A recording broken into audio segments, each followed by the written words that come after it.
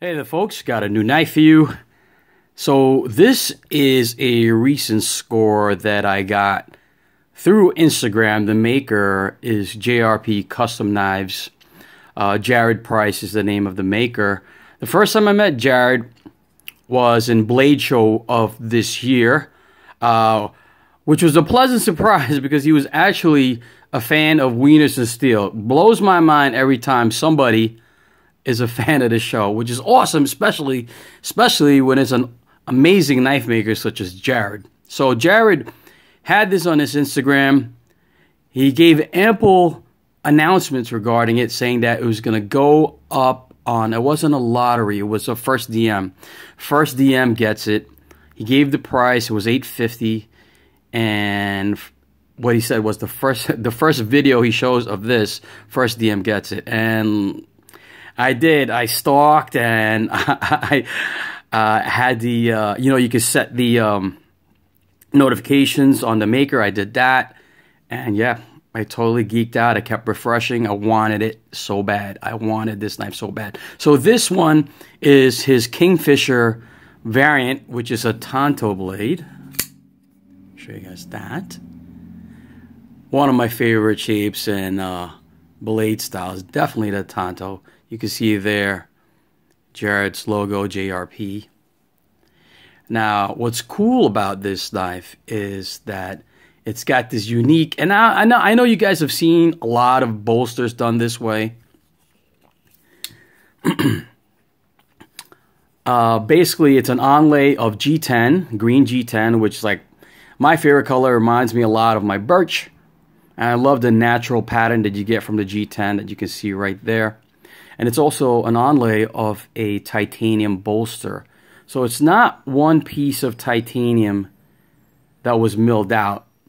It's, you can see there, it's an onlay of another titanium piece that Jared um, hand crafted to make the, the beautiful bolster with this shape that melts in with the green G10. Now I'll talk about that a little bit more later, but just check out the uh, the knife itself. So it's got this beautiful Tanto shape blade. The steel is CTS XHP. It's got a nice dark tumble on the blade. It's got a swedge, just gorgeous, and a thumb hole deployment. No jimping on the spinner blade. Elegant. Actually, I just ordered myself a Sharp by. Um, is it Sharp by Design? Sharp by Design. Um, and I ordered. I opted not to get the jimping. Also, uh, Brian Nadeau. So I'm kind of leaning towards that. I like that the it's got this choil which locks in your fingers. So I don't think really. Eh, some guys might dispute that, but I don't feel that the jimping is necessary. It just makes for a nicer elegant knife. It does have a floating backspacer, which is Zirc. You can see there the screws that lies behind the Zirc that gives it that floating effect. Follows it up with a beautiful Zirc pocket clip. Now, the Zirc pocket clip has like some it looks like an orange peel but there's a pretty unique pattern to it. I don't know exactly how jared does that but it's it's sexy. It's a bent clip but it's a generous amount of zirc he also put some zirc pivot collars on the pivots. See there on both sides. Just really sexy. So when I met Jared for the first time at Blade Show, I gonna be honest, folks, I never heard of him.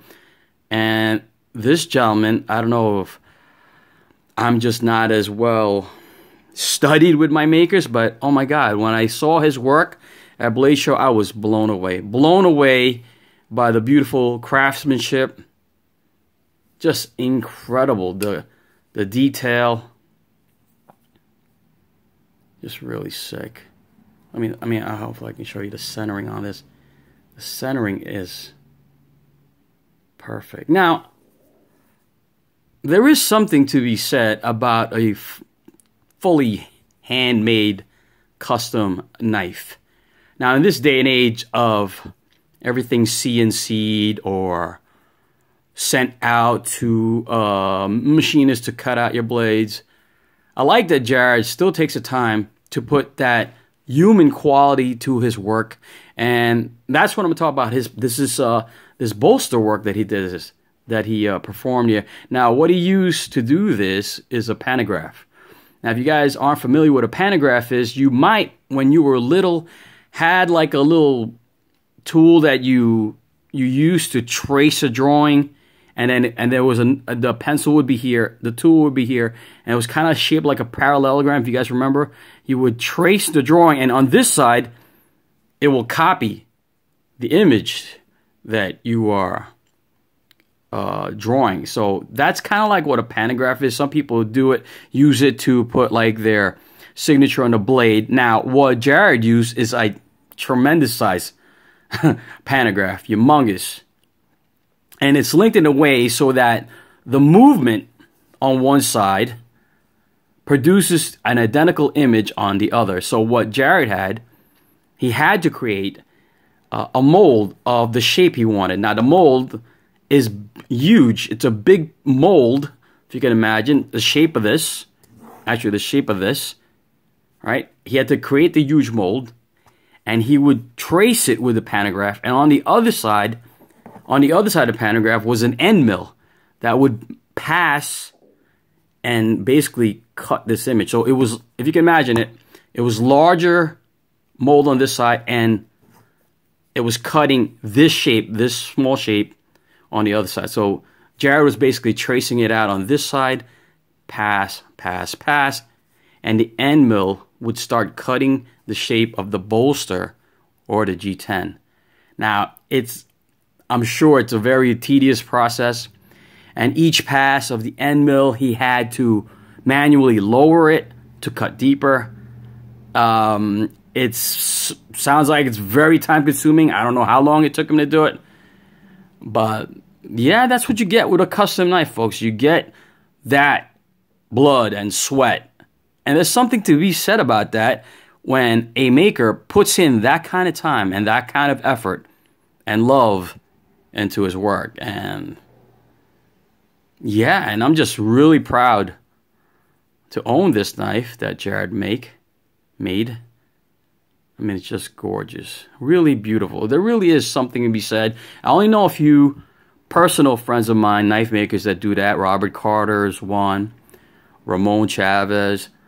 Um, yeah, this I'm sure I'm missing some other people, but Edison, Sharknico, his brother, um, Victor, these people do it all by hand. Uh, now, I'm not saying they're not using tools. They're using tools, but they're guiding it with their hands. There's no CNC involved, and it's just uh, impressive. Impressive. You can look at that bolster. It's almost, almost seamless when the G10 and the titanium meets. That's incredible. That's incredible work. Incredible detail on that.